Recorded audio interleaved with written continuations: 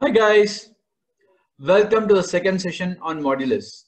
In the last session, that is the introduction, we have seen the meaning of a modulus in two ways. We have seen that there is a distance approach to modulus and there is a mathematical definition approach to the modulus. In today's video or this particular video, we're going to look at solving equations in modulus using the distance approach. So we're going to solve distance approach in this video and we're going to take the definition approach in the next video. And we will see that one of the two approaches you should be comfortable. You don't need to know both. You should ideally, at least you don't have to be perfect in both.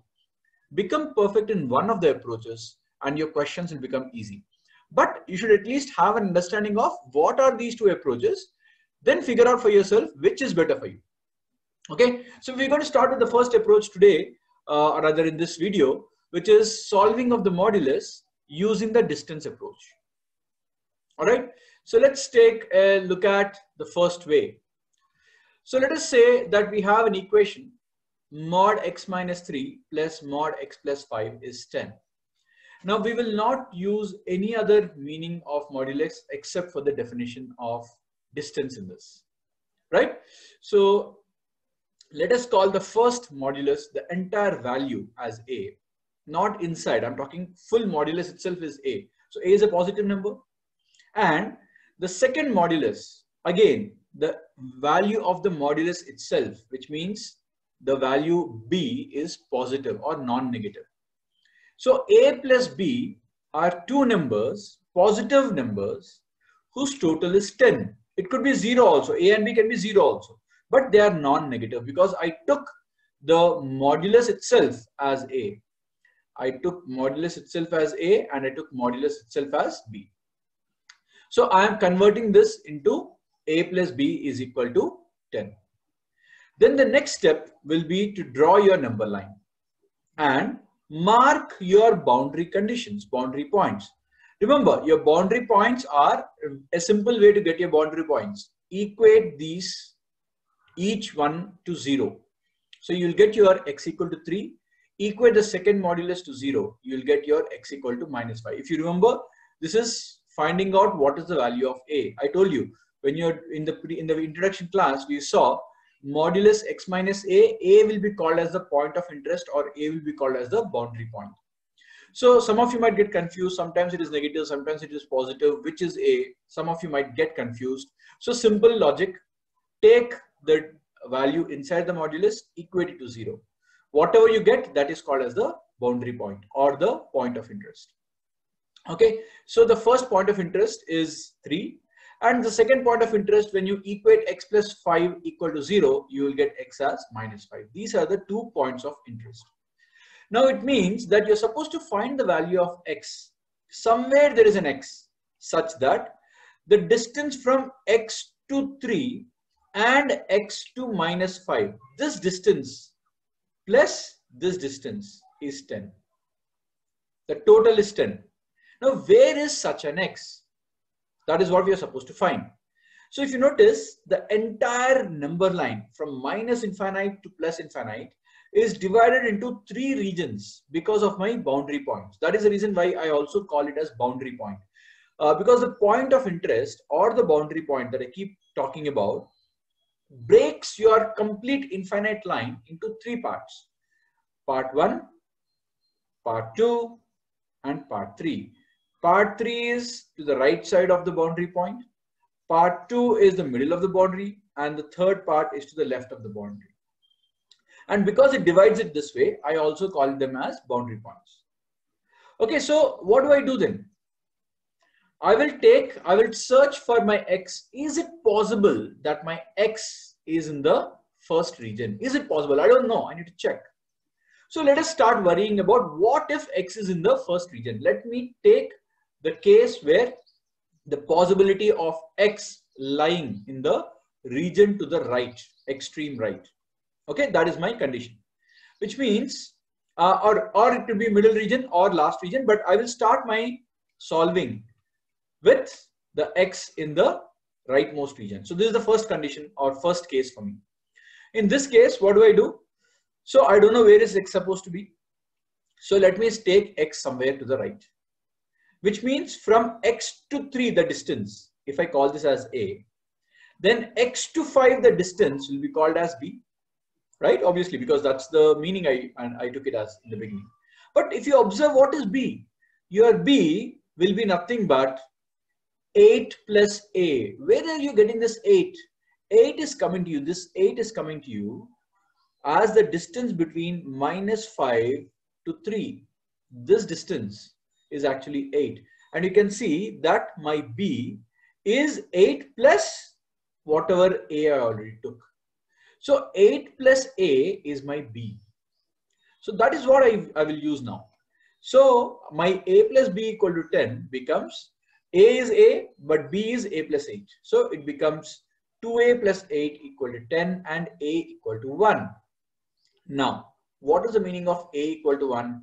I need X one unit to the right, one unit to the right side. What does it tell you? What is the value of X then? Remember, don't get confused. A is not X. A only tells you distance from 3 to the right side. So the distance is 1. So 1 distance to the right of 3 is your X. So what is your X then? Thereby your x will then become 4. So this is one case. Let us also look at the second case. I can also have my x lying in between them. It is possible, right? But then if you take the x to be lying in between, you will very quickly notice that the distance from x to 3 is a and x to minus 5 is b.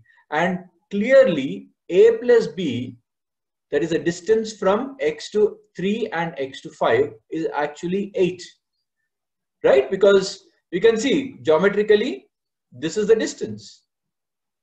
Because this is your a and this is your b. So a plus b actually is 8 that is the distance between 3 to minus 5 so obviously 8 cannot be equal to 10 obviously 8 cannot be equal to 10 what does it mean it means you cannot find an x here. So in the central region, you don't find an x. Let's take the final case. The final case is where your x is lying to the last left side region. When you take this, you will start observing that x is somewhere to the left hand side. We don't know exactly where it is.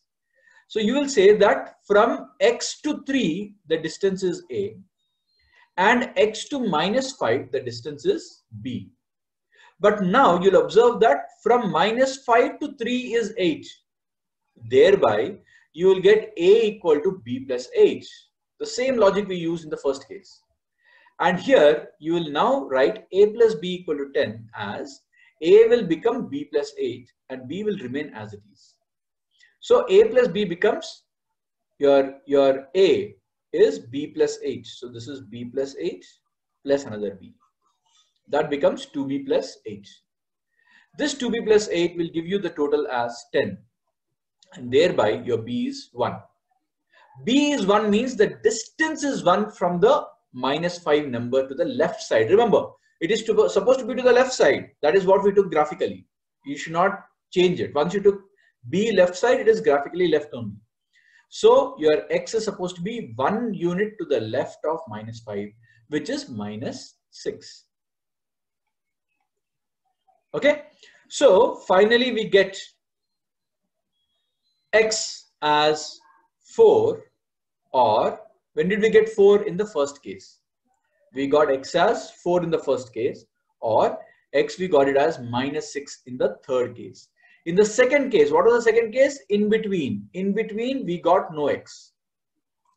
So ideally should always check for the three cases. And sometimes you'll get no x at all. Sometimes you'll get one x. Sometimes you can get two x's and so on and so forth. Right. So there are two answers in this question. For this equation that we took, x will be 4 or minus 6. Right.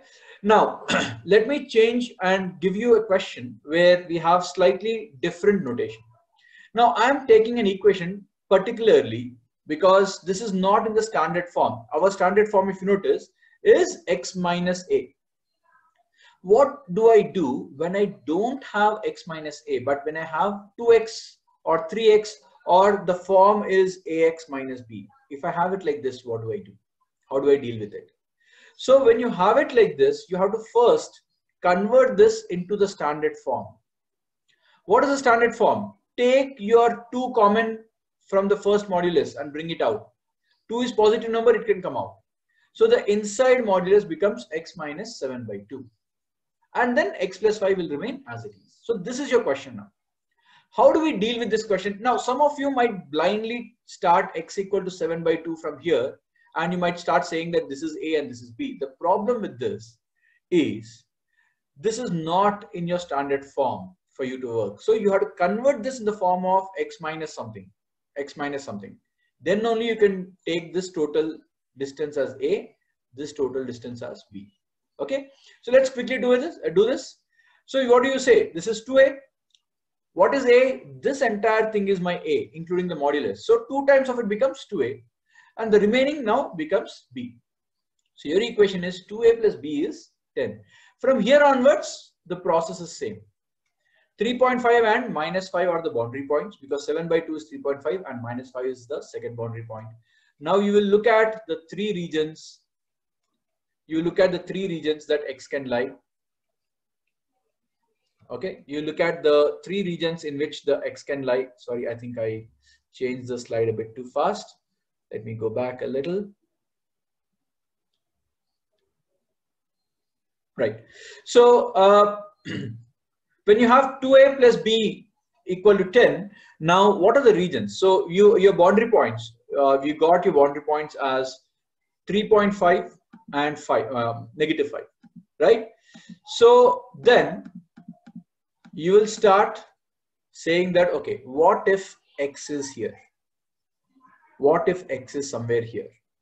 Then you will say, this is my a and this entire thing is my b. But b is equal to a plus 8 or not 8, it's 5 to 3.5, right? So it is 8.5, correct? So what do you get now? 2a will be 2a, there's no problem. Plus b is a plus 8.5, which is equal to 10. And this gives you 3a equal to 1.5 or a equal to 0.5. So it means my answer should be half a unit to the right of 3.5. So my x is 4. My x will turn out to be 4. Half a unit to the right hand side. So this is one answer we got. Now let's look at the second answer. The second answer we will try to get from in between the two regions. In between the two regions. So x is somewhere here. Now let us say x is here somewhere. We don't know, somewhere over here. So this distance will become your A and this distance will become your B.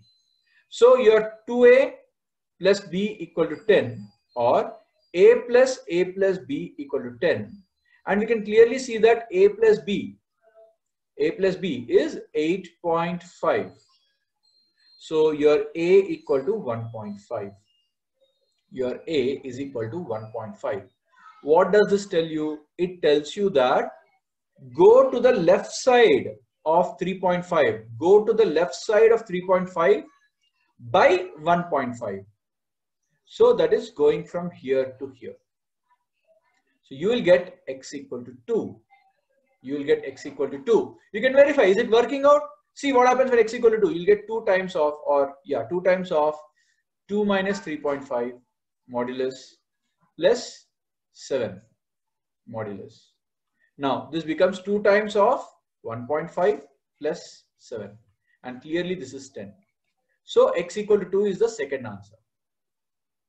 Similarly, you will see what happens if x is lying in this area. What if x is here? So you will take somewhere x like this. This is your x. And you will say that x to 3.5 is your a. Always don't mix up your a's and b's. Once you took this as a, it will remain as a throughout. So x to 3.5 is A and x to minus 5 is B. So your A will be B plus 8.5. So your 2A plus B is 10. Now 2A becomes, now remember, this is your A. So it is 2B plus 17 plus B equal to 10 or 3B equal to minus 7 or B equal to minus 7 by 3. Now, when you get b equal to minus 7 by 3, please keep in mind, we assumed that b is supposed to be a positive or rather non-negative number. Because what is b? b is the entire modulus itself. Right? So a modulus cannot be negative. You are getting b to be negative. What does this mean? It means this b cannot exist.